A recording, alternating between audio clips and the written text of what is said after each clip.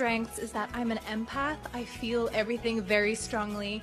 And I find that when I sing through music, it helps me connect to people. I really love your confidence and the way you speak, but sometimes it seems just a tiny bit scripted.